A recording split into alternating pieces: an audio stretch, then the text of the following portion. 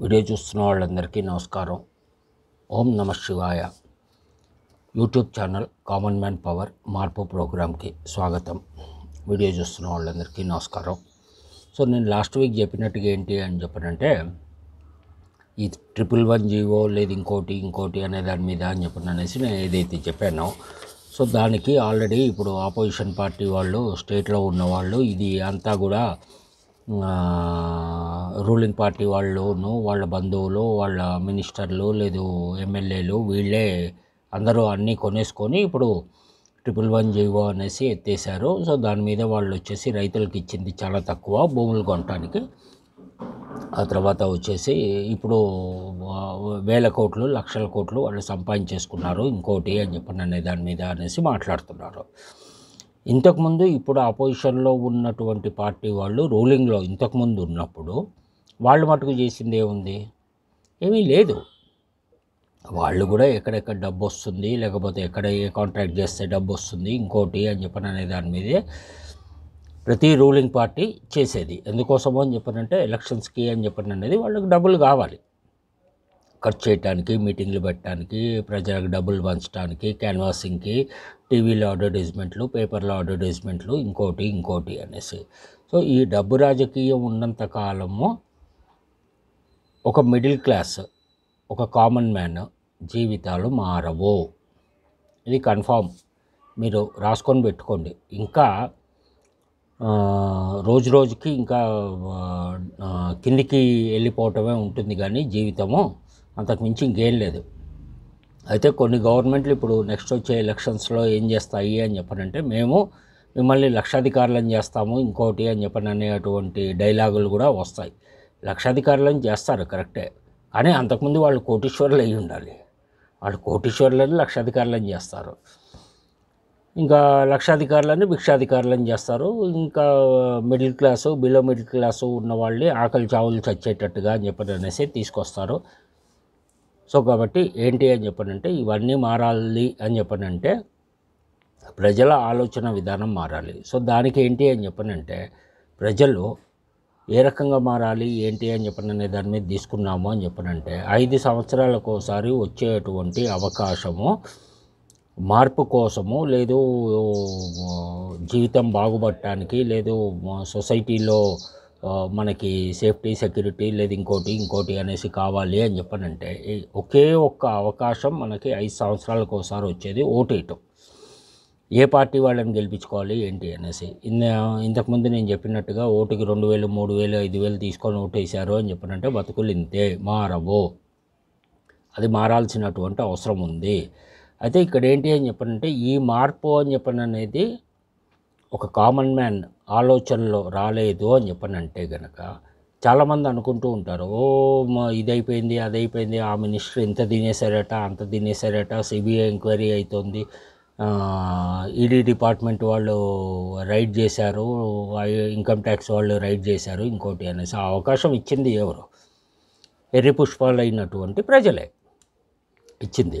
So కాబట్టి అవన్నీ కూడా ప్రజలే ఆలోచించుకోవాలి. ఎందుకంటే ఒక ఓటుతోటి లేదు మా ఇంట్లో ఉన్న వాళ్ళ ఐదు పది ఓట్లతోటి అనేది దేశం మారిపోదు. సో కాబట్టి మార్పు కోసమో అని చెప్పిన నేను ప్రయత్నం చేస్తున్నాను. సో దానికోసమో అని చెప్పిన అనేది ఒక పార్టీ పెట్టాలి అనే ఆలోచనలో కూడా ఉన్నాను. దానికి ప్రజల్లే వాళ్ళ వాళ్ళ అవసరాలు వాళ్ళ సమస్యలు తీర్చుకోవటానికి అని చెప్పిన అనేసి ఏ రకంగా ఏంటి అనేది ఆల్రెడీ ఇంతకుముందు నేను చెప్పడం జరిగింది. అయితే దీనికి ఏంటి అని చెప్పనంటే నేను ఒక్కడనే కాదు ప్రతి ఒక్కళ్ళు ప్రతి ఒక్కళ్ళ ఆలోచన విధానం ఏ రకంగా ఉండాలి అని చెప్పనంటే గెలుస్తాను అన్నది నా నమ్మకం కాదు.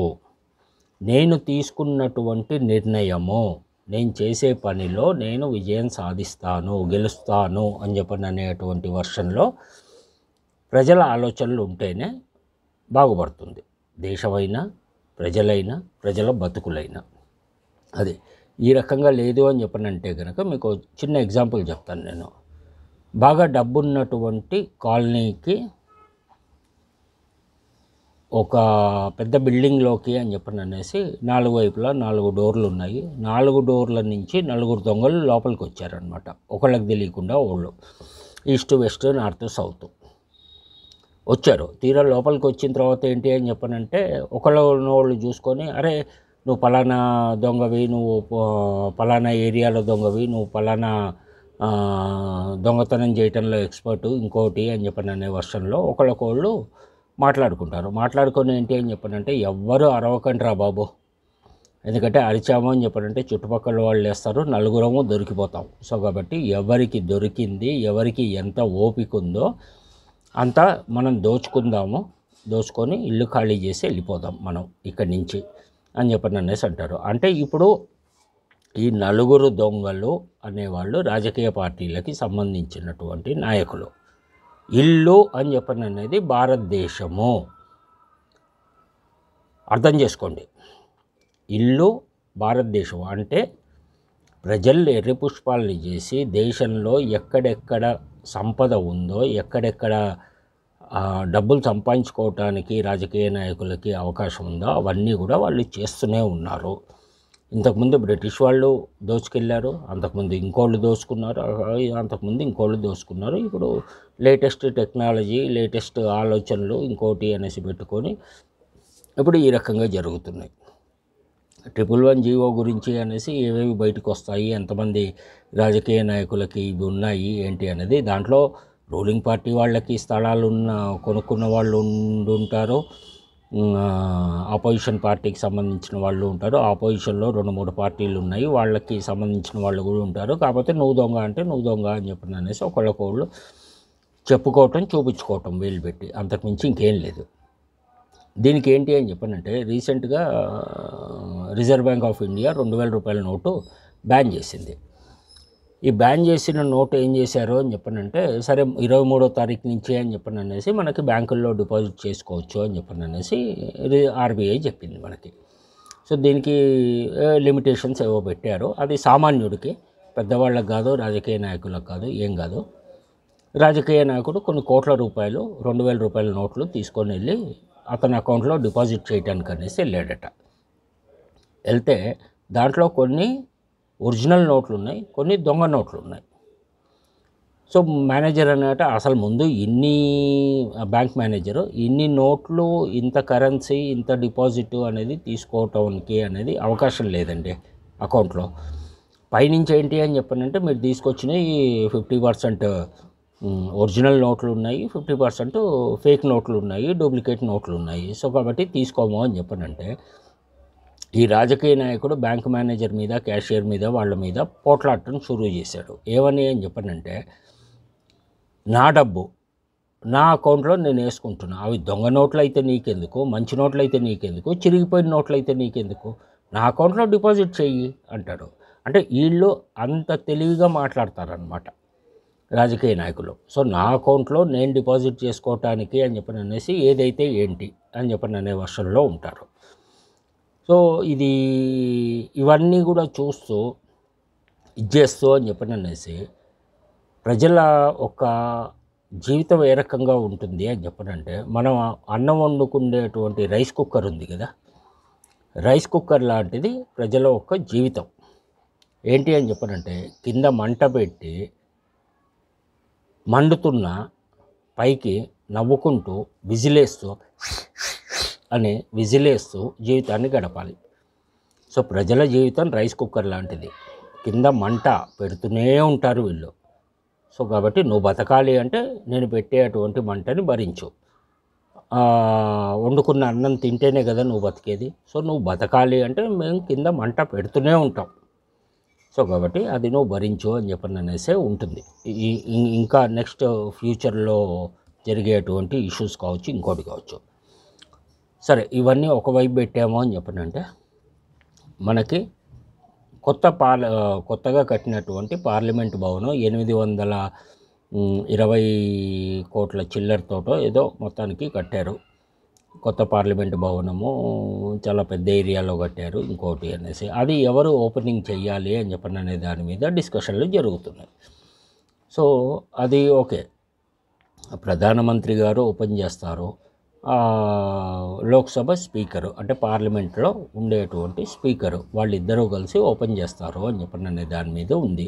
ఆపోజిషన్ పార్టీ వాళ్ళు అంటారు లేదు ప్రెసిడెంట్ ప్రెసిడెంట్ ఓపెన్ చేయాలి దాన్ని. ఎందుకంటే ప్రెసిడెంట్కి ఫస్ట్ ఏమంటారు మొదటి